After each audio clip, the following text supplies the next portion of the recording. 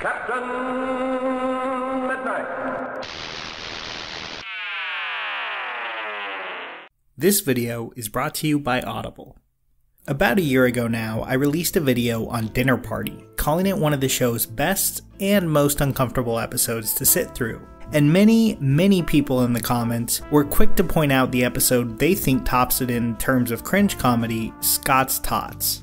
For me, season 6 is not a high point for The Office. It's well entrenched into that era where it was still a very solid show, but its best days were a bit behind it. That doesn't mean the show didn't occasionally have a surprise up its sleeve, though, and Scott's Tots is exactly that. While many network sitcoms like Friends and New Girl aim to be very pleasant to spend time with, The Office was usually at its best at its most abrasive, when it wasn't content to just be pleasant, but to be actively uncomfortable. That's what Scott's Tots set out to do, and whether you love the episode or hate it, it's hard to deny that it hit that mark dead on. Oh, and it probably goes without saying, but this video will feature spoilers for The Office. Hey, Mr. Scott, what you gonna do? What you gonna do? Make our dreams come true. For those who don't remember, the A plot of Scott's Tots is about Michael Scott having to break the news to a class of graduating high school students whose college education he promised to pay for that he wouldn't be paying.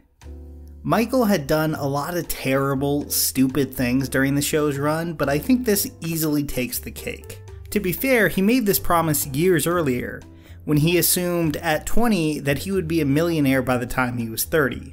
That's obviously a pretty crazy thing to promise, but it does fall perfectly in line with who Michael Scott is. Especially a younger version of the character who is even more clueless than the man we meet at the beginning of the show.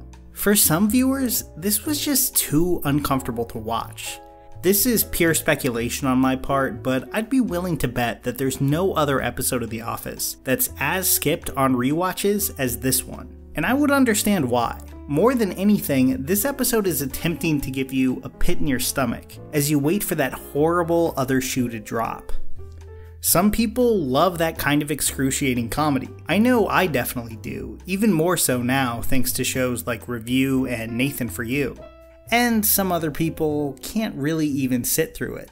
And I guess with this one, I can kind of see where people are coming from.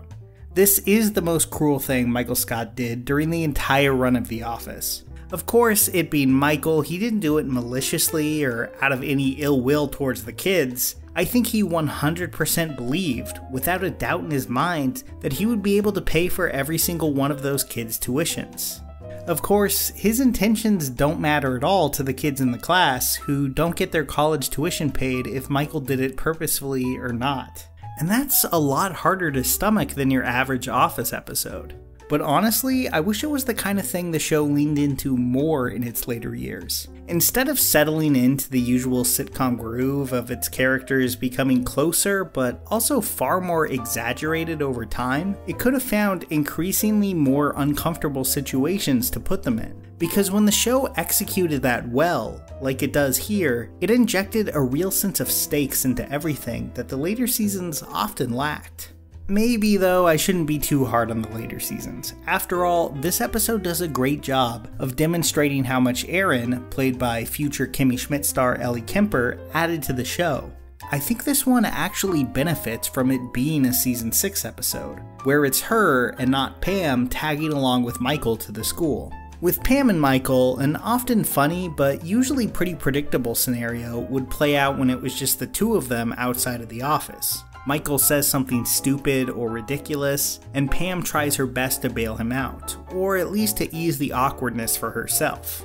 Erin has none of those impulses. She usually breezes past uncomfortable situations without even noticing them. I mean, we see her here singing along to the Hey Mr. Scott song, which I think makes that pretty clear. So without Pam, Michael is forced to face what he has caused head on, and I like how much the show really twists that knife too revealing that the school named a room after him, that he knows a lot of the students' names, and that they even prepared a musical number for him. Every step of the way, the show ratchets up the tension between how beloved he is and how terrible it's going to be when he tells them the truth. Now, it doesn't have that heightened sense of strangeness that Michael and Jan's horrible relationship in Dinner Party does, but what it does have going for it is the feeling that you're about to watch the freight train of Michael's cluelessness go off the tracks at any moment, and there's absolutely nothing he can do to stop it. It also really helps that Steve Carell was better at playing panicked than just about any other actor on TV. That was something that the show was able to use to its advantage over and over again. I love that even up until the very moment he has to share the news, he's still hoping someone there would bail him out, asking the students if they had any intuition about what was going to happen next in one last desperate attempt to not have to do it himself. Michael's speech is punctuated by an amazing moment where he offers the kids laptop batteries, which is just about the saddest replacement for full tuition payment that's kind of possible. You give it to your wife? No. Am I missing something? I really don't know how it happened, David. I know how it happened. One thing I haven't talked about yet is the B story, which might not be as memorable as Michael's stuff, but was actually much more funny than I remembered. In it, Dwight tricks Jim into giving out an Employee of the Month award to himself in an attempt to get him fired. I remember a lot of people actually took issue with this story when it aired back in 2009. After all, didn't the show go to pretty great lengths to humanize Dwight after he was fired and had to work at Staples for a little bit? I never really bought that reasoning. To me, this makes perfect sense for Dwight. Like, he might be a sad sack at times, and he's not a complete sociopath, but at the end of the day, he is a petty, vindictive, and power hungry little man. So it's not at all a surprise that he can't stand the idea of Jim as his boss. I think this little B story also mirrors the Scott's Tots storyline, with the misunderstandings just getting ratcheted up over and over again. First with Jim winning the prize, then Pam being in second place, and finally with the cake punchline. It's maybe not super important, but I think that makes for a smart couple of plots to pair together. In the end, Erin tries to comfort Michael by saying his false promise at least made the graduation rate higher. It's something, sure, but it's not much. For the most part, the episode doesn't let Michael off the hook for what he's done here.